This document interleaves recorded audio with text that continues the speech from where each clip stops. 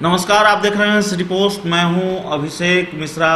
बिहार के नवादा के हिस्सा से बीजेपी विधायक अनिल सिंह अपनी बेटी को वापस ले आए हैं कोटा से बिहार और इसके लिए उनको पास निर्गत किया गया था। बीजेपी विधायक का ये तर्क है कि सरकार ने जो पास की प्रक्रिया शुरू की है, उसी प्रक्रिया का पालन करते हुए मुझे पास निर्गत किया गया है। मैंने वही प्रक्रिया का पालन किया है और अपनी बेटी को मैं वापस ले आया हूँ, लेकिन विपक्ष हमलावर है, नेता प्रतिपक्ष तेजस्वी यादव ने भी यह मांग की है कि सरकार के स्तर से उनको भी पास निर्गत किया जाए, ताकि वे बिहार के पैंसठ सौ छात्र जो कोटा में फंसे हुए हैं, उनको वापस ला पाए ज़ाहिर है इसको लेकर बिहार में सियासत तेज हो गई है, और बिहार के नवादा के हिस्सा से विधायक अनिल सिंह की वजह से मामला गर्म हो चला है।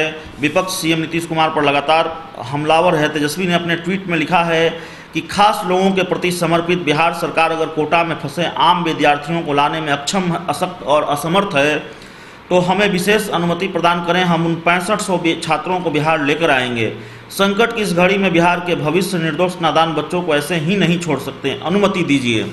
तेजस्वी यादव यहीं नहीं रुकते हैं। इससे पहले भी उन्होंने एक ट्वीट किया है और इस मामले को लेकर निशाना साधा है सीएम नीतीश कुमार पर। उन्होंने ट्वीट किया और लिखा कि बिहार सीएम, यूपी सीएम को कह रहे थे कि इन्हें कोटा में फंसे छात्रों को वापस लाने के लिए बसों की अनुमति नहीं देनी चाहिए।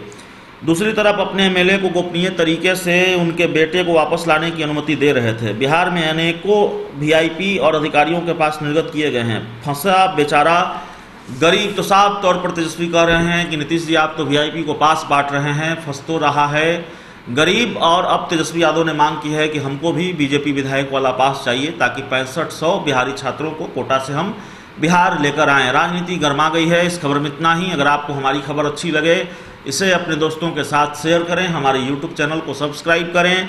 वेल आइकन ज़रूर दबा दें ताकि हमारी खबरें सबसे पहले आप तक पहुँचें। प्यार, समर्थन और सहयोग के लिए बहुत बहुत धन्यवाद।